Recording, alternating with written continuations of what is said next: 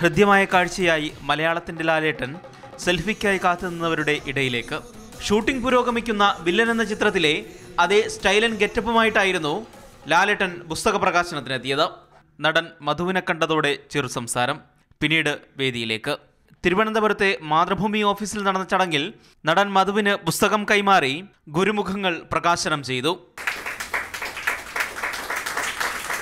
ഈ ഗുരുമുഖങ്ങൾ എന്റെ വലിയൊരു ഗുരുത്വമായിട്ട് ഞാൻ കാണുന്നു. കാരണം ആ സിനിമയിൽ അഭിനയിക്കുക എന്നതിലുപരി ഈ ഇത്രയും വലിയ വലിയ ആൾക്കാരോട് അഭിനയിക്കാനും അവരോട് വളരെ സ്വതന്ത്രമായി ഇടപഴകാനും സാധിച്ച ഒരാളാണ് ഞാൻ.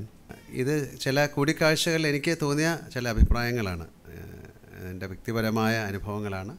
Sathyan M G R Sivaji Ganesan Madhu തുടങ്ങി ഇന്ത്യൻ സിനിമയിലെ ഇരുപത്തഞ്ച് മഹാരഥന്മാരെക്കുറിച്ചുള്ള മോഹൻലാലിന്റെ ഓർമ്മകളാണ് പുസ്തകത്തിലുള്ളത്.